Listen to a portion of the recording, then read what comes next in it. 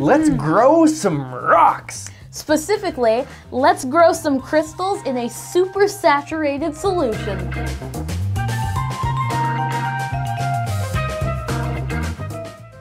Welcome to Destructive Creativity, where we make cool science and explain why it works. But first, make sure you subscribe so you don't miss out on anything. It's the only way. We have everything we need to make some really cool crystals today. So let's get going. But first, put on your safety glasses. Safety is number one priority.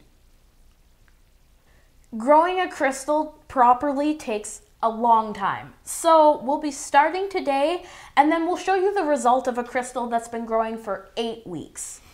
We'll also show you the cheaters method where you can grow large crystal formations in random patterns in a very short amount of time. Let's get everything ready. We are going to be making a single gigantic alum crystal. And then selling it online for our own personal fortune. Yeah. Nope, I don't think so. Sad. We will be needing some hot distilled water. And alum. Technically, this is potassium aluminum sulfate. We picked it up at a grocery store. I think it's used for pickling or something like That's that. That's right. Just make sure that it is potassium aluminum sulfate and not potassium aluminum phosphate. They pretty much are the same thing, but the sulfate works better. Fill a heat resistant cup with some water and microwave it for 20 seconds.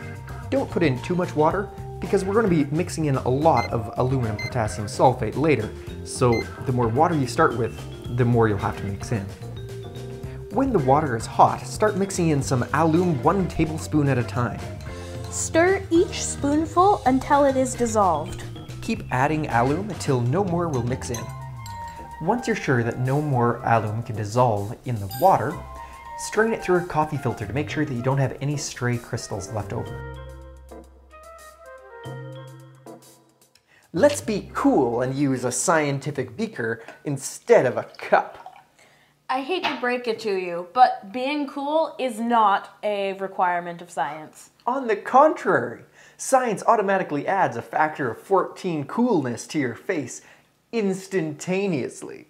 How on earth are you married? Bait and switch, boys. Bait and switch. Back on topic, after you have the saturated solution, put it away overnight so the seed crystals can grow. wow, did you feel that? We've been standing here for the past 25 hours. Don't tell lies. Well, time flies when you're having fun, or relatively if you're standing near a massive body of matter.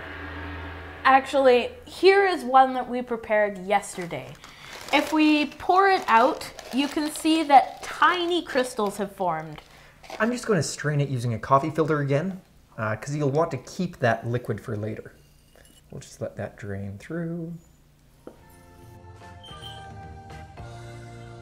We want to pick out the biggest and best seed crystal that we can find. The better the seed, the better the end result. There. Well, that's those are pretty.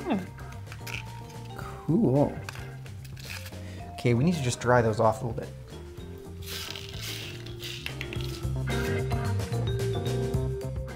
Tie a bit of fishing line around the seed so that it can hang nicely. If I can do it. I like this one.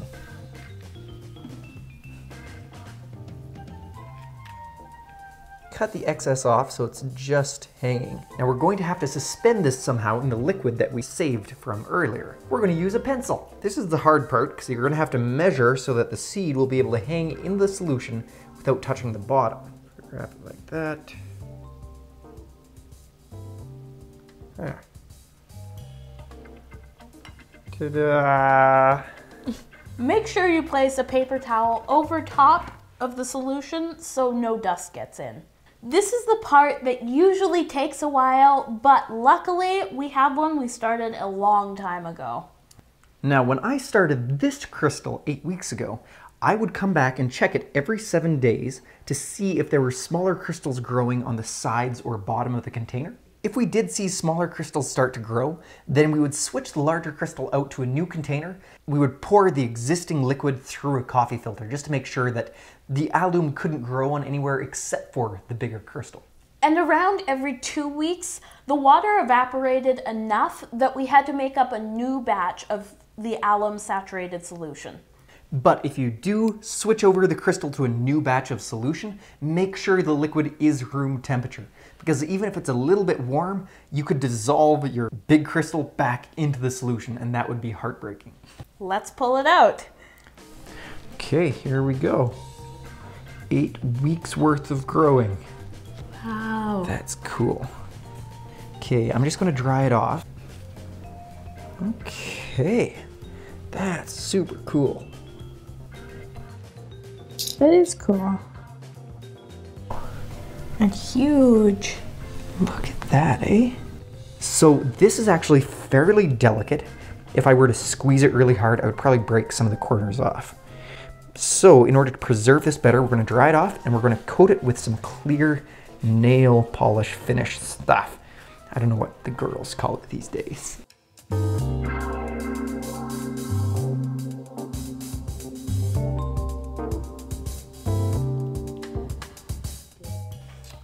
While we take a look at that crystal in a bit more detail, I'll explain to you why it grows. All crystal making begins with a saturated solution. This is simply a solution that cannot hold any more of the material. For example, if you are making a saturated solution of alum water, you would add alum to the water until no more could be dissolved. And it doesn't have to be alum. It could be any material from laundry detergent to salt.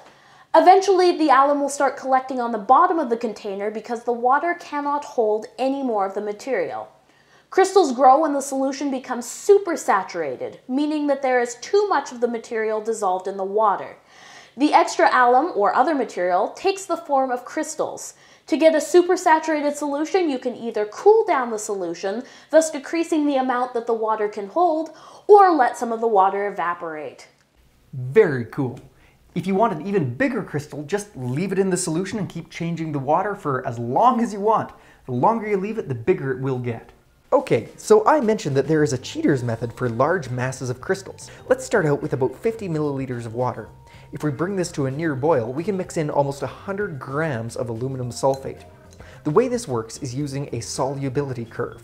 Essentially, the hotter a liquid is, the more alum can be dissolved in it. So if we heat the water up and boil it, we can dissolve a huge amount into it, and when it cools, the entire container will be crystallized before your eyes in a matter of hours.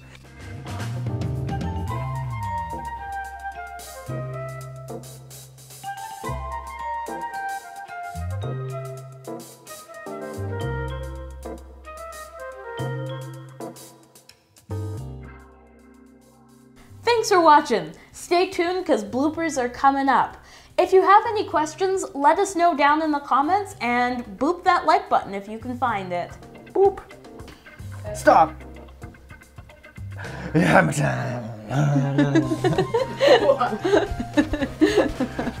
Does silica make good crystals?